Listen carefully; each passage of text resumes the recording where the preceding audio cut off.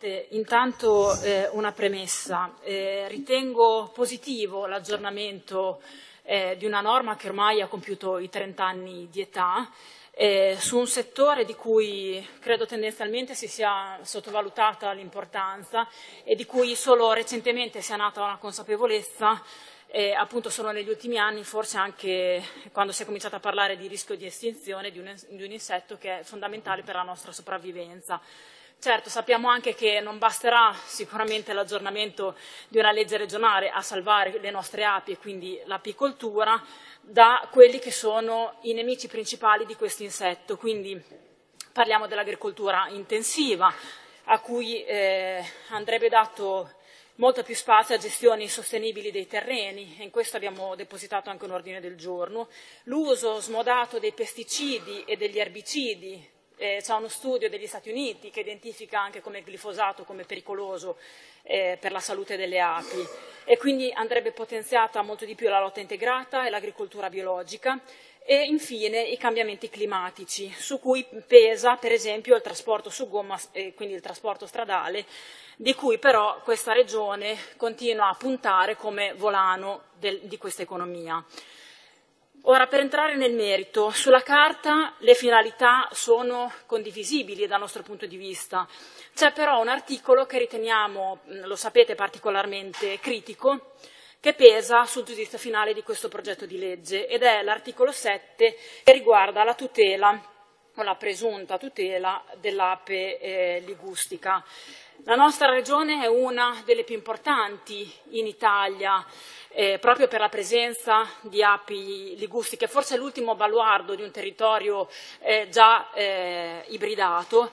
E, dal nostro punto di vista regione, ehm, è, è, dovere della regione tutelare in ogni modo possibile eh, la nostra ligustica. Ce lo dice l'Unione Europea, eh, attraverso una raccomandazione dove dice chiaramente che dobbiamo con ogni mezzo preservare gli ecotipi locali al fine di evitare l'erosione del patrimonio eh, genetico. Crediamo anche che il regolamento europeo, per esempio sulla zootecnia, non riguardi le api per quanto riguarda gli scambi commerciali, dove si parla di bovini, suini, equini, caprini e ovini. E in questa raccomandazione, in apertura, si dice anche che la ricerca della competitività nel settore zootecnico non dovrebbe comportare l'estinzione delle razze le cui caratteristiche sono adatte adattate a specifici contesti biofisici. In poche parole, essere, queste parole devono essere lette in questo modo. Se c'è il rischio che la sottorazza locale si possa estinguere, in caso di contatto con la sottorazza diversa va preservata la eh, sottorazza locale. Allora noi partiamo da un decreto che è quello del 92 dove si dicevano alcune cose molto chiare. Era vietata l'introduzione di api di sottospecie diverse dalla ligustica ed era vietato l'allevamento di ibridi. Quindi, in, poche parole, non si potevano detenere api diverse dalla ligustica. Oggi, con questo progetto di legge, rimane il divieto dell'introduzione di api diverse, ma si permette l'allevamento, quindi si possono detenere api diverse dalla ligustica. E poi eh, viene inserito il divieto di moltiplicazione e commercializzazione di api regine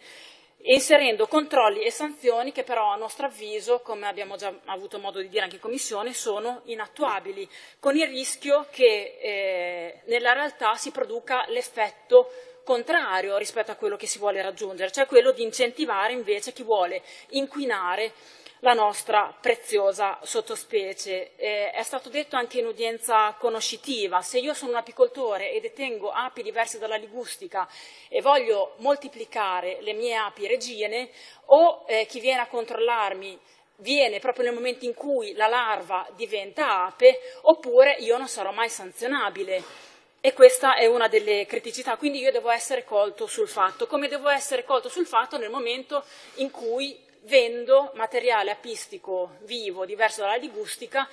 e quindi a meno che non, non, ci vogliate dire che volete inserire i funzionari sotto copertura, mi sembra particolarmente difficile che questi controlli, queste sanzioni vengano applicate, tant'è che dal mio punto di vista voi non farete una multa che sia una, perché mh, sono controlli che sono inattuabili. Non ci rassicurano nemmeno i 10 km di tutela, intanto perché sono facoltativi e noi chiediamo che, che eh, siano obbligatori per chi detiene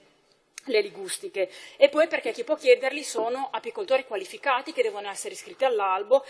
eh, in un territorio che è il nostro che non è mappato, noi non abbiamo una, una mappatura in regione di chi eh, detiene le ligustiche e chi no.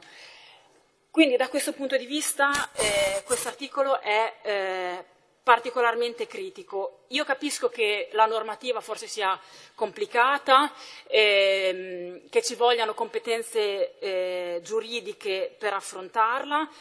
però credo che lo si potesse fare con un po' più di coraggio e, eh, e con le giuste competenze. Eh, quindi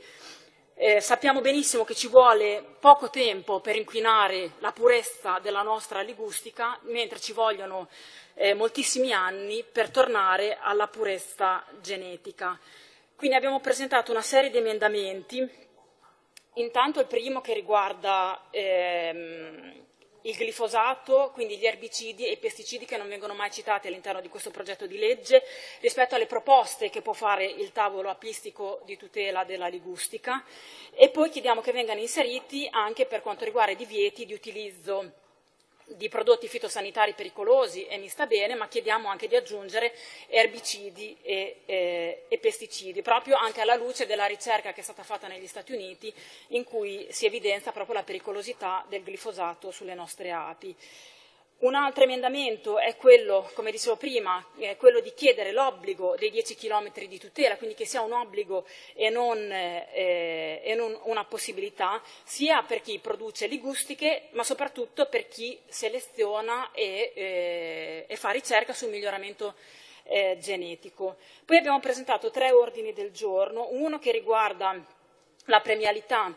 eh, in termini di contributo economico per chi produce eh, con, attraverso metodi, metodi, biologici e eh, un punteggio maggiore a chi decide di convertirsi eh, a biologico.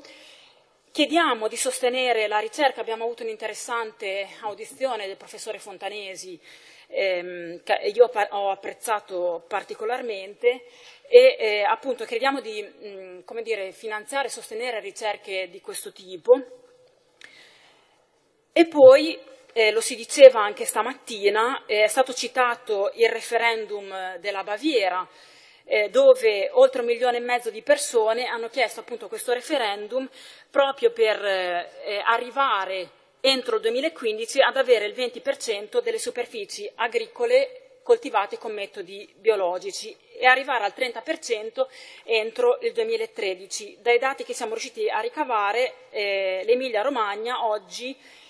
vanta una percentuale di 6,1 di eh, superfici coltivate a biologico, dati presi dal Sistema di informazione nazionale sull'agricoltura eh, biologica. Comunque, mh, mm, insomma, saremo intorno al 10-11 adesso. Eh, bene, quindi vuol dire che il 20% è anche un obiettivo raggiungibile. Quindi eh, Abbiamo presentato un ordine del giorno proprio per andare in questo senso, quindi se è un, è un obiettivo raggiungibile perché non, eh, dire, no, non fissarlo come, eh, come, obiettivo, appunto, come eh, obiettivo sfidante da, ehm, da raggiungere. Queste sono un po' le nostre considerazioni. Ribadisco, l'articolo 7 purtroppo ha pesato molto sul giudizio finale di una legge che sicuramente migliora la normativa esistente che ormai ha 30 anni e, e che però, ripeto, dal nostro punto di vista eh, presenta questa criticità che è quella di non tutelare i nostri apicoltori che eh, producono e detengono api ligustiche.